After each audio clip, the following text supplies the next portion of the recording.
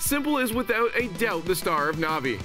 Whether he's got a rifle or the op in hand, he's always a threat to pull off a highlight play and take over the server.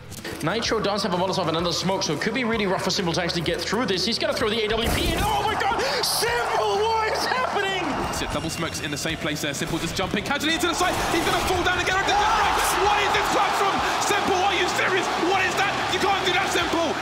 S1mple's spotlight often overshadows the performance of some of his teammates, but nothing that S1mple did could hide Flamie's insane half against Quantum Bellator Fire.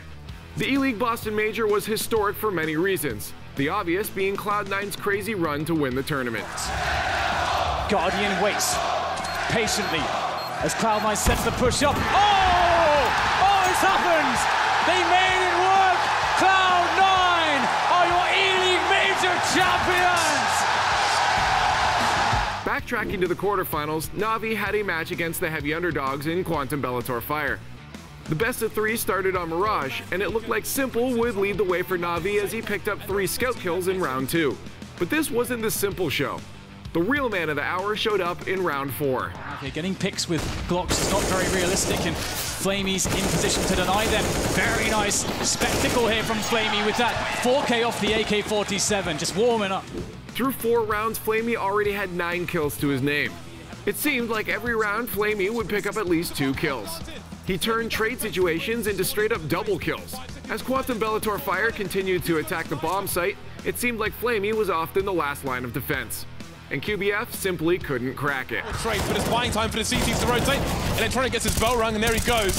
Flamie now trying to finish things off. waterfaLLZ on low health, 30 HP. Flamie will avoid the flames and bring QBF to their knees once again. Flamie's kill count was now at 17, and he wasn't even close to being finished. Over the next two rounds, he picked up six more kills, including yet another 4K at the A bomb site. Round 11, with Na'Vi up 9-1, Flamie continued his complete and utter dominance over QBF. He may go back, they may send more people towards the B bomb site, but the bomb is soon on the way, and all the T's making plays are quite telling Flamie is invincible. With 26 frags, he had more kills than all of Quantum Bellator Fire. Then Na'Vi began to run the double op setup, where things got even more ridiculous. And they may feel afraid to run their own game. Flamie's been given the AWP. He's got new toys to play with. Christmas has come again for Flamie. 29 kills in 12 rounds. Flamie was just one kill away from breaking the major record for most kills in a half.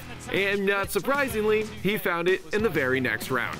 Now waterfaLLZ is left with no Kevlar amid P250 and against Flamie in 1v1. That's not very fair. Surprise! And we have it, 30 bomb.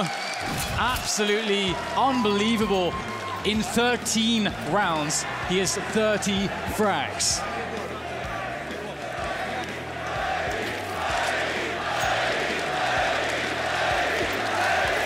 Flamie would add two more frags in round 14 to make his total 32. With that, Flamie had broken BrokenEdit's world record for most kills in a half. Flamie finished the half with an absurd 5.33 KDA and an average damage per round of 188.3.